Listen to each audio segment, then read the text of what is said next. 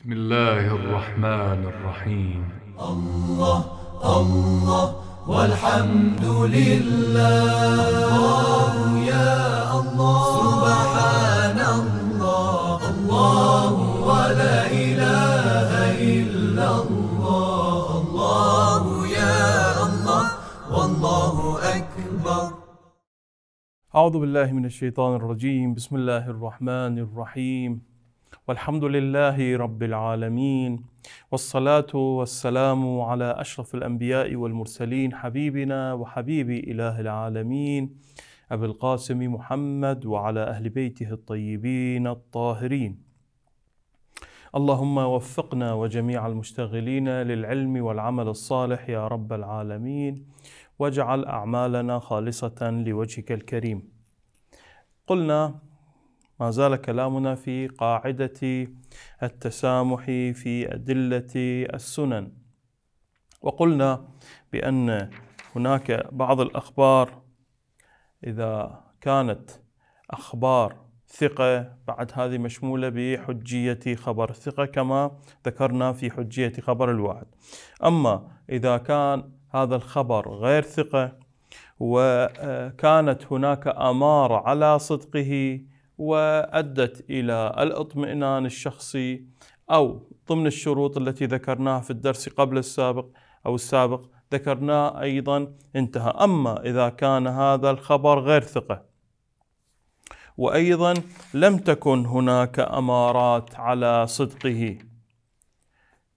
فهنا قلنا بأنه هذا الخبر يكون غير حجة باستثناء الأخبار التي دلت على أوامر ونواهي غير إلزامية فهنا تكون هذه تشملها قاعدة من بلغ أو التسامح في أدلة السنن.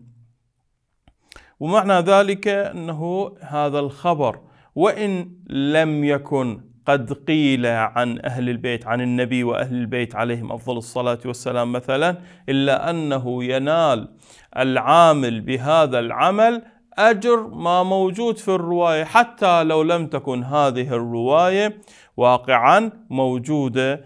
باعتبار عندنا هناك كم هائل أو كثير من الروايات التي تدل على هذه المسألة. بحيث أنه هذه الروايات تجعل الحجية لمطلق البلوغ. يعني إذا واحد وصل لهذا الخبر وعمل به فهنا سوف يحصل على أي شيء؟ على الثواب. وإن لم يكن هذا الخبر واقعا موجود. لذلك يسمى بالتسامح في أدلة السنن. هذا ذكرناه في الدرس الماضي. أما اليوم فقلنا بأن السيد الشهيد الصادر رحمة الله عليه يقول هذا إذا أردنا أن نعتمد عليه فلا بد لنا أن نأخذ ونحقق في هذه المسألة لأنها مسألة مهمة باعتبار أنه الخبر هو غير موثوق. فإذا كان غير موثوق هو غير حجة فإذا كان غير حجة كيف يمكننا أن نعمل به؟ فلا بد لنا من أن نحقق في هذه المسألة في هذه الروايات ثم بعد ذلك نعطي أو يعطي النتيجة النهائية. ويقول أنه التحقيق في هذه الروايات هو نقول أنه بدوا يعني أول ما يمكن أن نرى هذه الروايات يمكن تخريج منها أربع احتمالات. الاحتمال الأول أن تكون هذه الروايات في مقام جعل الحجية لمطلق البلوغ يعني مجرد ما حصل هذا الخبر هذا راح يكون حجة. مجرد أنا ما سمعت هذا الخبر راح يكون حجة هذا الخبر. فإذا كان حجة ينبغي الالتزام به. هذا أولا. الثاني لا ومو أنه يكون حجة بل بلوغ الاستحباب هذا البلوغ أصل الاستحباب الفعل راح يجعل هناك حكم ثانوي هذا الحكم الثانوي بمؤدى هذا الخبر. يعني افرض مثلا عندنا حكم أولي بإباحة شرب الماء مثلا ولكن يأتينا عندنا رواية مثلا تقول من شرب الماء وذكر عطش الحسين سلام الله عليه أو من شرب الماء وذكر بسم الله الرحمن الرحيم مثلا فإنه سوف يحصل على كذا وكذا وكذا. افرض أنه الحكم الواقعي كان بأنه الإباحة ولكن لما تسمع هذا الخبر ويأتيك هذا الخبر إيش راح يكون؟ راح يكون عندنا حكم ثانوي، هذا الحكم الثانوي وفقا لما جاءت به الرواية، فاذا أنه يقول أن أن تكون هذه الروايات في مقام إنشاء استحباب واقعي. فيكون هذا استحباب الفعل ثانوي. الاحتمال الثالث أن تكون هذه الرواية أو الروايات حكم إرشادي. إحنا قلنا الأحكام إما تكون تكليفية أو إرشادية. إرشادية بأي شيء؟ تقول إرشاد إلى حكم العقل. بأي شيء ترشد إلى حكم العقل؟ بحسن الاحتياط واستحقاق المحتاط للثواب. يعني إذا واحد يحتاط لأن أخوك دينك فاحتط لدينك فإذا إجت أي رواية وهذه الرواية ما فيها إلزام. فإذا كان الإنسان هذا متدين مثلا كلش هذا راح إيش راح يؤدي؟ راح يحاول أن يطبق هذه الرواية. فمن باب الاحتياط تدل على حسن الاحتياط. اللي يحتاط لدينه الله تبارك وتعالى يعطيه ثواب على مقدار الاحتياط. هذا ال ال ال الاحتمال الثالث في هذه الروايات. والاحتمال الرابع ده يقول أن هذه الروايات هي وعدا. هذه وعد مولوي بأي شيء؟ في مصلحة لنفس ذلك الوعد. يعني أصل المولى حينما شرع هذا فهو هو هناك هناك مصلحة في أصل التشريع لهذا الفعل. يقول السيد الشهيد والاستدلال بهذه القاعدة هو إنما يكون على الاحتمال الأول أو الثاني أو الاحتمال الأول نعم. أنه الاستدلال بالروايات هو مبني على الاحتمال الأول يعني شنو؟ في مقام جعل الحجية لمطلق البلوغ. يقول هذا الاحتمال هل هو متعين؟ لا لأن إحنا قلنا عندنا أربع احتمالات. فكما أن الاحتمال الأول موجود عندنا الثاني والثالث والرابع. وكل هذه الاحتمالات موجودة. بل أنه أن عندنا أصلا هناك مؤيد على أن هذا الاحتمال هو غير موجود أو غير متعين، لماذا؟ لأن الرواية ماذا تقول؟ تقول أنه الذي يسمع هذا يحصل الثواب حتى لو لم يكن الخبر موجود فعلا. فإذا لم يكن الخبر موجود فعلا فكيف يمكن أن يكون حجه على من بلغ؟ هو ما موجود فعلا. فاذا يقول أنه الاحتمال الأول هو غير متعين. فإذا كان نفس الثواب هو اللي يؤدي إلى التعبد بثبوت المؤدى وحجية البلوغ فهذا ماكو داعي اذا يصرح لو كان نفس الثواب موجود لما داعي إلى التصريح بأنه هذا له ثواب حتى لو لم يكن موجودا. يعني لو كان الخبر الأول هو المتعين فلماذا يصرح في هذه الروايات أنه له من الثواب ولو لم يكن هذا الخبر ثابت واقعا؟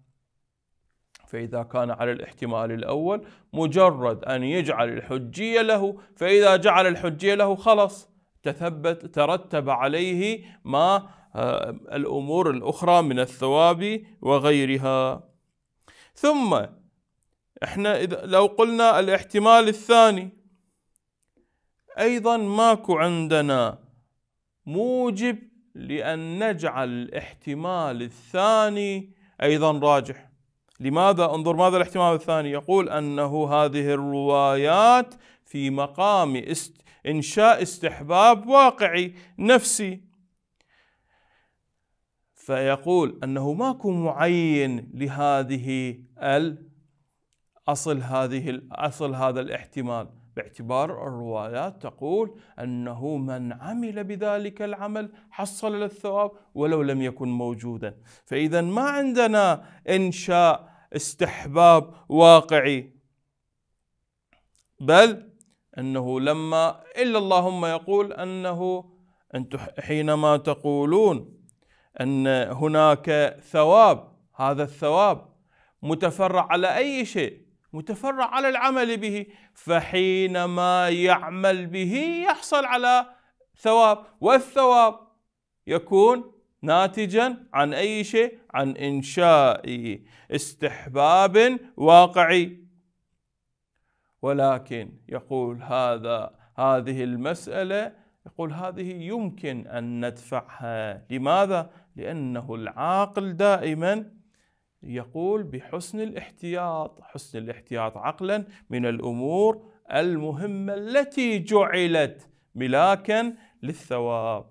إذا سيدنا إذا الأول ما متعين والثاني ما متعين. إذا أي احتمال هو المتعين بنظركم؟ يقول فالمتعين هو الاحتمال الثالث مطعم بالاحتمال الرابع. يعني كيف؟ يعني تكون هذه الروايات إرشادية إلى حكم العقل بحسن الاحتياط وأنه هناك وعد مولوي هذا المولوي لمصلحة في نفس الوعد المولوي. فتكون هذه الرواية إشارة إلى هذه المسألة. فإذا بناء على التحقيق يقول السيد الشهيد أنه هذه الروايات لا يمكن أن نستظهر منها ما ذكر ذكروه لأن ما ذكروه مبني على الاحتمال الأول والاحتمال الأول غير متعين فلا بد لنا من أن آه، نعرف الاحتمالات ونذكر أقرب احتمال لها وهو الاحتمال الثالث والرابع مطعم بالاحتمال الرابع. نطبق.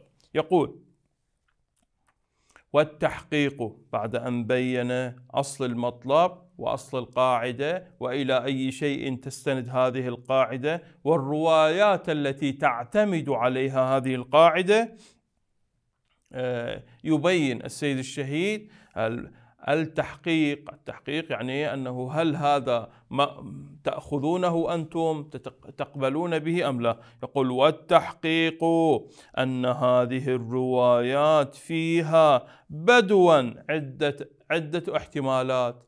يعني عندنا حينما تنظر إلى هذه الروايات بأول وهلة هناك أربع احتمالات. الأول أن تكون هذه الروايات في مقام جعل الحجية لمطلق البلوغ. يعني واحد يكتب بين قوسين أنه لما تصل إليك فهي حجة إذا لم تصل إليك فهي غير حجة. يعني إذا وصلتني آن الرواية إحنا عندنا مجموعة أشخاص خمسة مثلا من الأشخاص ثلاثة منهم وصلتهم الرواية هذه تكون حجة عليهم. اثنين ما وصلتهم لا تكون حجة. فإذا تقول يقول الأول أن تكون في مقام يعني هذه الروايات في مقام جعل الحجية لمطلق البلوغ. إذا بلغ هذا الخبر وإذا وصل هذا الخبر فيكون حجة. الثاني أن تكون في مقام إنشاء استحباب واقعي نفسي على طبق البلوغ. يعني لما توصلني هذه الرواية راح ينشأ استحباب ثانوي واقعي فيكون بلوغ استحباب الفعل. عنوانا ثانويا له. فهذا البلوغ بلوغ استحباب الفعل راح يكون عنوان ثانوي مشير إلى تلك الروايات. يستدعي ثبوت استحباب واقعي بهذا العنوان. فاذا عند راح يكون أصل البلوغ هو استحباب واقعي على أصل البلوغ. وبلوغ استحباب الفعل. هذا عنوان ثانوي يشير إلى الاستحباب أصل الفعل اللي هو استحباب واقعي. فيكون بلوغ فيكون بلوغ استحباب الفعل أصل استحباب الفعل. إحنا عندنا أكو عندنا أكو استحباب واقعي على البلوغ واستحباب ثانوي على أصل الفعل. فيكون بلوغ استحباب الفعل عنوانا ثانويا له. هذا بلوغ استحباب الفعل أنه تفعل هذا الفعل. هذا استح عنوان ثانوي.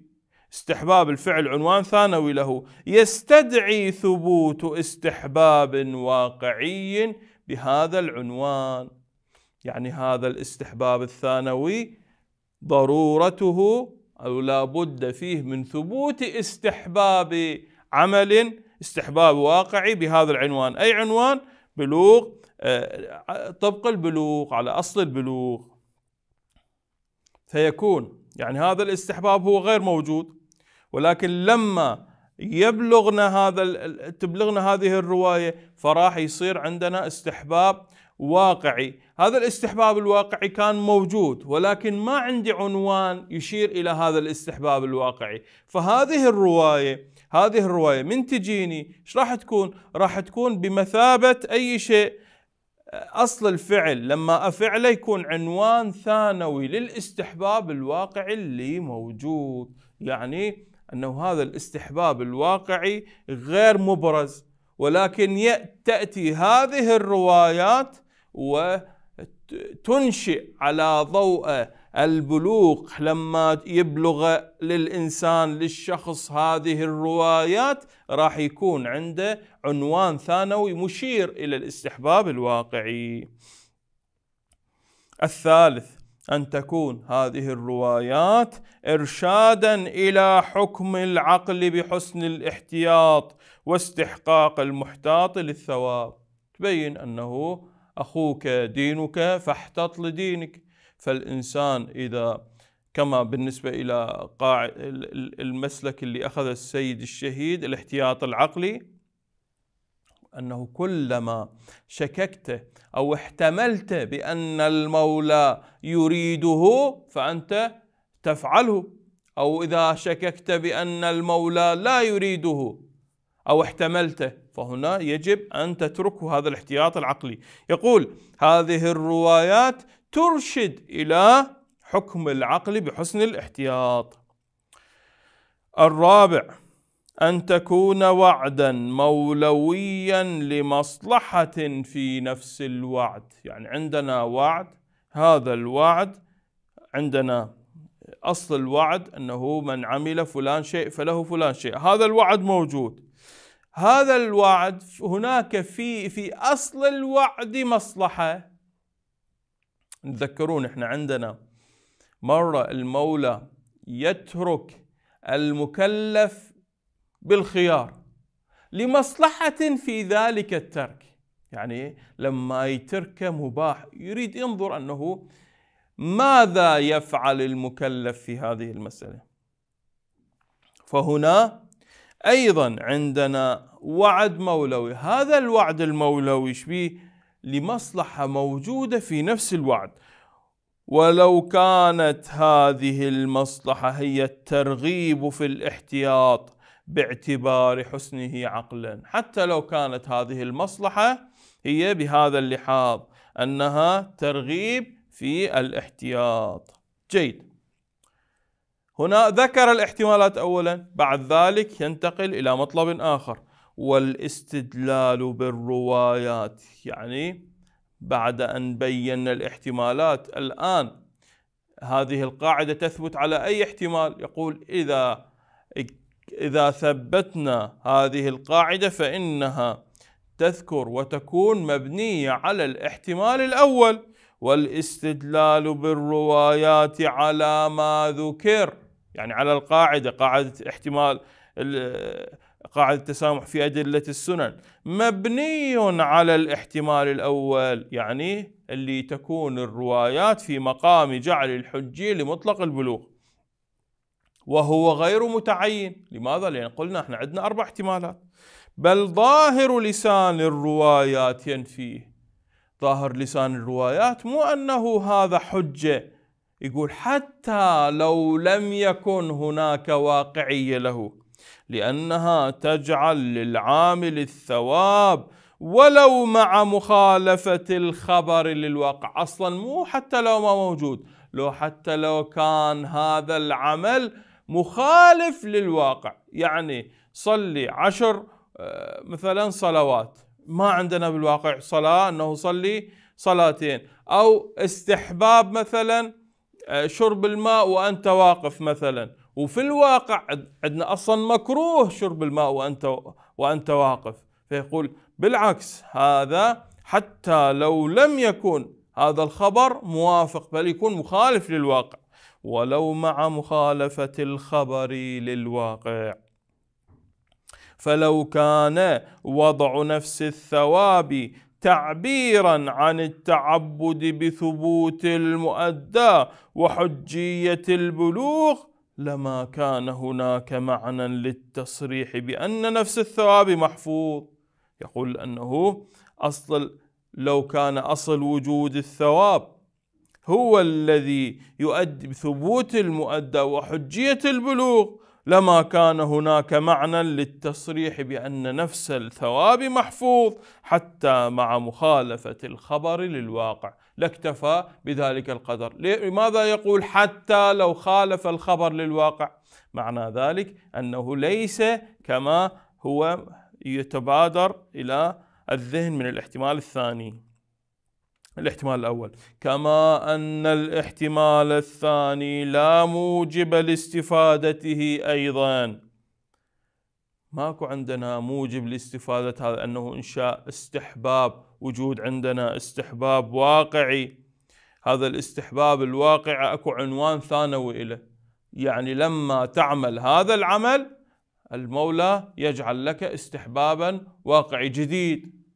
يقول كما أن الاحتمال الثاني لا موجب لاستفادته أيضا إلا دعوى أن الثواب على عمل فرع كونه مطلوبا.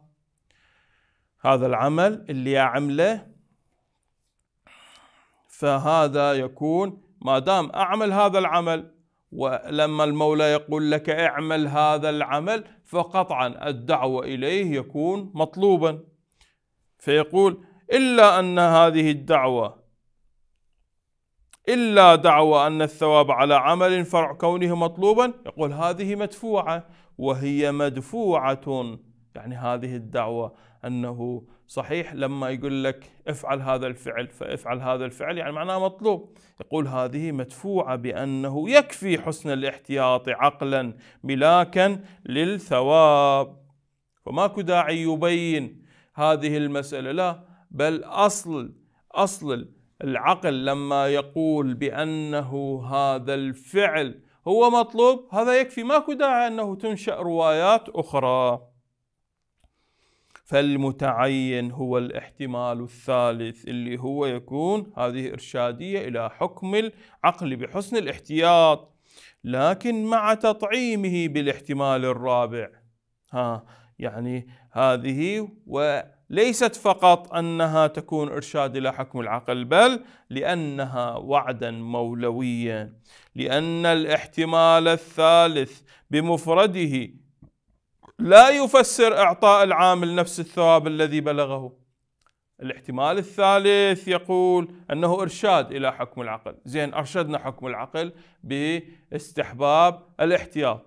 زين الثواب كيف تفسره؟ فلا بد من وجود شيء آخر يشير إلى الثواب. فيقول هذا ما هو موجود في الاحتمال الرابع. يقول لأن الاحتمال الثالث بمفرده لا يفسر إعطاء العامل نفس الثواب الذي بلغه لأن العقل إنما يحكم باستحقاق العامل للثواب لا لشخص ذلك الثواب. فالعامل يستحق أصل الثواب. فلا بد من الالتزام بأن هذه الخصوصية يعني أصل هذه المسألة الإرشادية ما ردها إلى وعد مولوي. إذا تبين لنا أن هذه القاعدة قاعدة التسامح في أدلة السنن هي مبنية على احتمال وهذا الاحتمال هو غير متعين من هذه الروايات. فإذا أردنا أن نقول بهذه المسألة فلا بد لنا من أن نأخذ ونقرأ جميع الاحتمالات اللي موجودة ونناقشها احتمال احتمال والسيد الشهيد توصل أخيرا إلى أنه الذي يستظهر أن هذه القاعدة تشير إلى الاحتمال الثالث ومطعم بالاحتمال الرابع. إلى هنا نكون. قد انتهينا من إثبات حجية خبر الواحد وملحقاته. أما إثبات حجية الدلالة في الدليل الشرعي فهذا ما سنتعرف عليه في الدرس المقبل. أقول قولي هذا وأستغفر الله لي ولكم وآخر دعوانا أن الحمد لله رب العالمين وصلى الله على محمد وعلى أهل بيته الطيبين الطاهرين. اللهم صل على محمد وآل محمد. اللهم صل على محمد وآل محمد.